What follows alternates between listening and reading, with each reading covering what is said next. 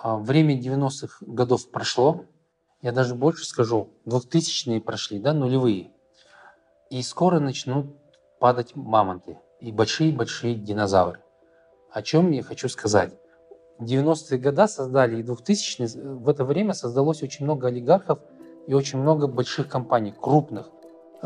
Уже даже начали появляться казахстанские транснациональные компании, да, и они влияют очень сильно на экономику страны, они влияют на экономику соседних стран, они влияют на политику даже где-то, да, но вот эти отташки, они уже, ну, им по 80 с лишним лет многим.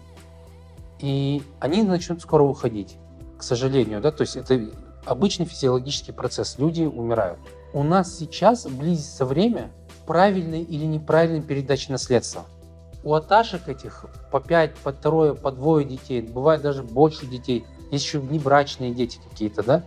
И вот эта дележка наследства, она начнется уже скоро. И не все компании выдержат. Очень важно таким компаниям задуматься, кому они будут передавать свое наследство. Как это будет происходить. Потому что очень часто люди находятся в иллюзорном мире, что все дружные, мои дети друг друга не поругаются, они будут всегда друг друга ценить никакими, никакими юридическими проволочками, никакими какими-то моральными установками и целями вы не удержите детей, чтобы не пересраться друг с другом из-за денег. Потому что когда идет война за большое наследство, все становятся сволочами. И очень мало бизнесменов, которые правильно воспитывают своих детей, которые правильно при жизни распределяют свое наследство. Для того, чтобы поделить правильное наследство при жизни, очень важно научиться не манипулировать детьми через деньги. И если ты этого не умеешь, тебе ждет огромные проблемы.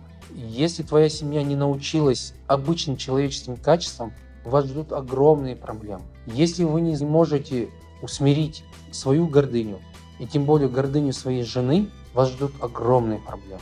И поэтому я говорю, что скоро начнут падать мамонты.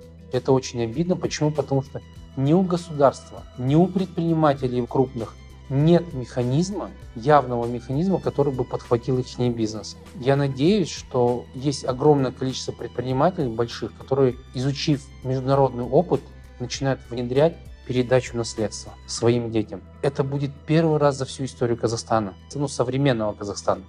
Передача наследства своим детям. Я уже про внуков молчу, там совершенно другая история. Напиши, пожалуйста, в комментариях, какие проблемы еще их ждут. Как ты думаешь?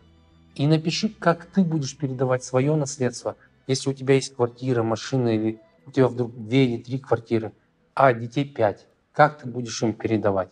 Какие механизмы работают у тебя?